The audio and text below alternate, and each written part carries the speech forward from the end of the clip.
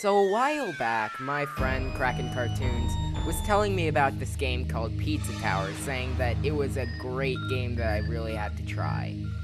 I don't know why, I just kind of still doubted it. I mean, it's a platforming game about pizza. It can't be that good, right?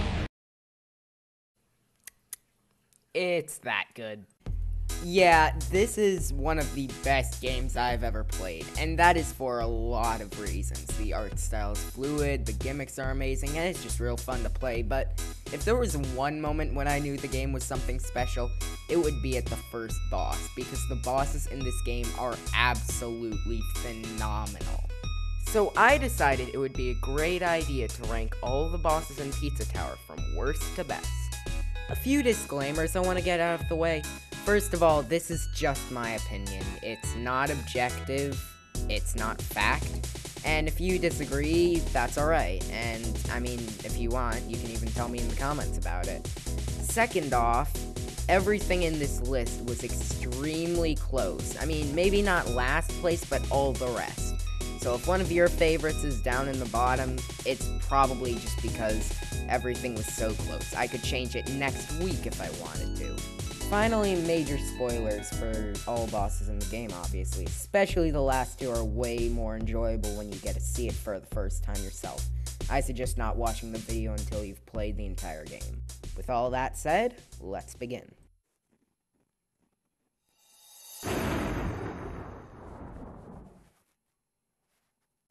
I really like this boss, it's great, but if I'm gonna be honest, it never really stood a chance of getting higher than last place. For all these entries, other than one that I'll get to very far in the list, I'm gonna be starting with the bad stuff. And when it comes to this one, it's pretty simple. It's a very simple fight. I mean, the easiest way to see it is just look at all the attacks. They have a charge attack. How do you counter it? You jump. They charge twice. How do you counter it? You jump twice. They will slam on you. How do you dodge it? You move a little bit. They have this slam and then jump, which is honestly probably the most complex. But all you do have to do is just move and uppercut in the right spot. Still very unique, but not enough compared to the others. And then, of course, there's charge twice and statue, which is, you know, jump twice and statue. It's very simple, and honestly, that's not even taking into consideration parrying. And while that is generally the biggest problem, the thing is, everything else this boss does, like being great visually, having astounding music, and whatnot, is this is Pizza Tower, which means that every single boss is like that. And that basically means if you put this in any other game, this would still be one of the best. Especially if it was still the first boss. But nonetheless, as it is now, and one of the best games I've ever played, it's not quite that level. I will say, probably the biggest thing that I can praise it for is all the obstacles that enter the arena. It does make the fight a lot more interesting. Nonetheless, it's still the worst boss in the game.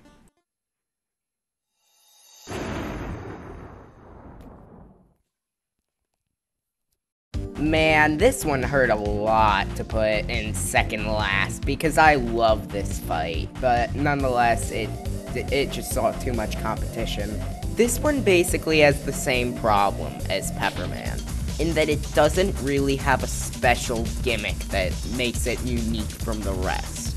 Alongside that, the lack of a final phase does hurt it a little bit, though what we do get in exchange is pretty funny.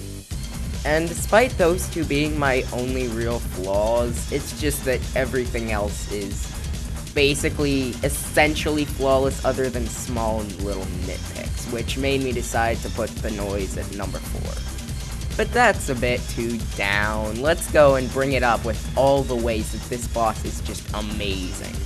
First off, music, great. I love the, I think they're called orchest- orchestral hits in the first half, and the second half with the little vocals, especially those, just make the song pop. I love how the noise just uses basically the same few attacks, but then varies them up every so often and makes the fight feel a lot more unique. And honestly, probably the number one thing that I love about the fight is just how it feels like such a good grudge match. Like, you're up against this guy, and they're flipping you off, and when you hit them, instead of, you know, just knocking them back, you, like, tussle around, and there's just a ton of rage in the air. It makes the battle so much more enjoyable to do, especially I personally enjoy taunting all throughout the battle, it just makes it so much better.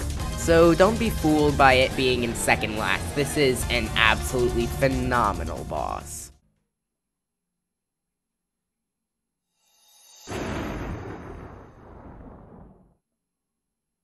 Who Vigilante?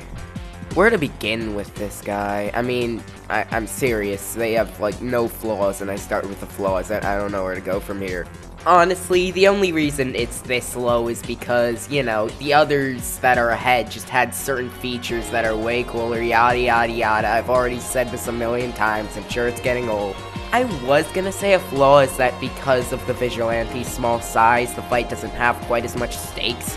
But honestly, all that does is make it more amazing when they can hold his own, because this is by far the hardest boss fight in the game. The amount of attacks that just take up half the screen, the gun making it so that the attacks aren't like insta-hits and you have to hit them a lot, and it just being very dynamic with all the things that come your way, make the fight very difficult. There's one point in the first half where he shoots a bazooka and a ghost comes down, that's the phase that kills me half the time, like kills my P ranks. All in all, the hardest boss to learn, P rank. And as somebody that really enjoys hard battles, especially battles that really feel like a duel of wits and skill, I really enjoy this battle, needless to say. I'm also gonna bring up something I usually haven't brought up yet, and that's speeding. Which is, you know, just speedrun strats. Specifically here, if you hold your charge shot before they switch sides after damage, then you can basically skip a ton of shots that you would have to take otherwise. The speedrunning is one of the most enjoyable things you can do in this game, and this is one of the fights that does it extremely well, along with our next one.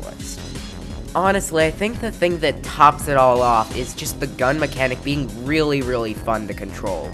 Like, there's a shotgun in later portions of the game, and that's very special, but this one's completely different, and is also just really, really enjoyable, and makes the fight harder and way more unique.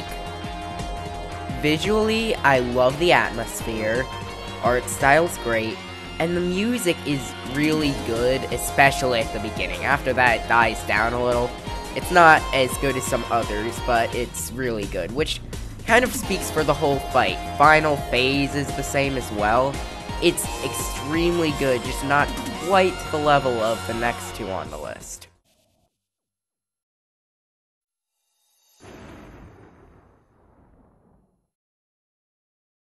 Pizza Face was actually originally going to be number one, but our number one spot just barely snuck ahead while I was recording footage. We'll get more into that later, but just know that as good as this fight is, it's not perfect. However, I'm not actually going to start with the flaws of this boss, what makes it not quite number one. Instead, I'm going to talk about something else, which is how this boss takes stuff from all the others. It's like Pepperman that in, despite being a very easy boss, mainly because of the health regeneration between phases, didn't really need that. I see it for Phase 3, but not Phase 2 at all. Phase 3 is supposed to be cool. But despite that, it has a lot of unique obstacles, especially throughout Phase 1. It's like the Vigilante in Noise because of the gun and charm in Phase 2, respectively. And the scattered nature and speed strats of Phase 1 relate to, well, you know. And also, then there's the boss rush which is just phenomenal. There is no going against the fact that that is one of the coolest parts of the entire game. You cannot fight me on that. But as I was playing this fight, I realized I didn't really have as much fun on replaying it. And I realized that that was because that within the phases, there's not as much progression. I mean, phase 1 is the same attack, just getting a bit bigger each time. And then, of course, phase 2, while having more attacks, still doesn't seem to get stronger and stronger like the noise would. And while that may seem small because it kind of is, after replaying what is now number one, it was so good that I ended up bumping it up all the way to the top. So that one little thing was enough to bring it to the bottom. Sorry.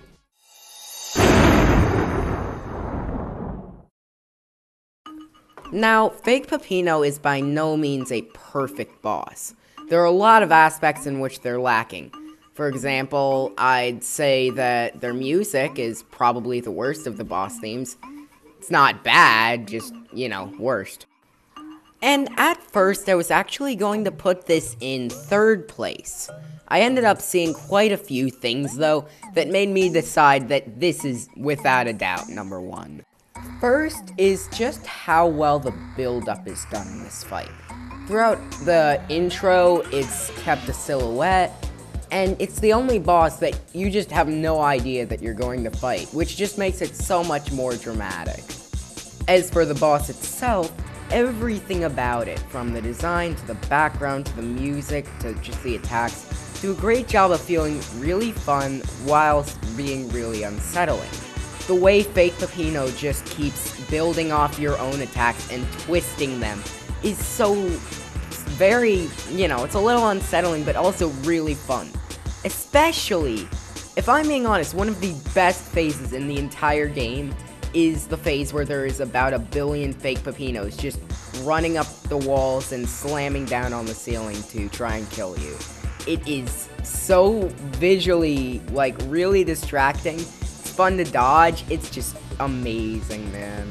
And in phase 2, all the Peppinos that are just everywhere make the scattered nature of the fight is just so good. The scattered nature makes it so enjoyable to replay all the time, which is probably what bumped it from number 3 to number 2 in the end.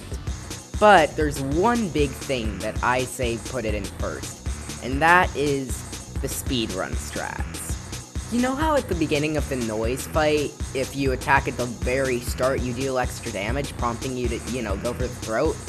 Fake Peppino's got that, but a million times better, because almost every single of every phase can do that. Every single attack. If you attack at the start, then you get extra damage in, and it makes you want to go for the throat. There's even more than that, like with the running phases and the super jump phases. It's just so amazing. And that's not even bringing up the final chase scene, which is just the best phase in the game, no contest.